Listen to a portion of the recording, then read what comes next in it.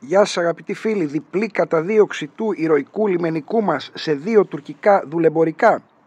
Το βράδυ της Πέμπτης, στην ΚΟ, σκάφος του ελληνικού λιμενικού, περιπολούσε στην περιοχή, εντόπισε ταχύπλο σκάφος, εκινήτο υπόπτος.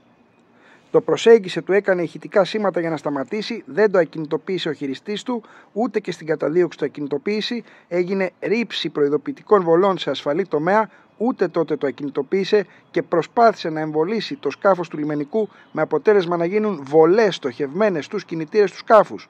Επέβαιναν 22 άτομα, 2 δουλέμποροι και 20 άτομα που είχαν ξεκινήσει από τις ακτές της Μικράς Ασίας για να επιβιβαστούν στην ΚΟ. Μισή ώρα αργότερα έτερος σκάφος είχε ξεκινήσει επίσης από τη Μικρά Ασία για την ΚΟ ξεκίνησε και ακολουθήθηκε η ίδια διαδικασία 18 άτομα και ένας διακινητής και οι τρεις διακινητές είναι τουρκικής υπηκότητας. Στο Φαρμακονήσι επιθετικές κινήσεις από τουρκικές ακτεωρούς εναντίον σκαφών του λιμενικού. Σε κάθε περίπτωση η Τουρκία έχει εξαπολύσει υβριδικό πόλεμο εναντίον μας στο Αιγαίο.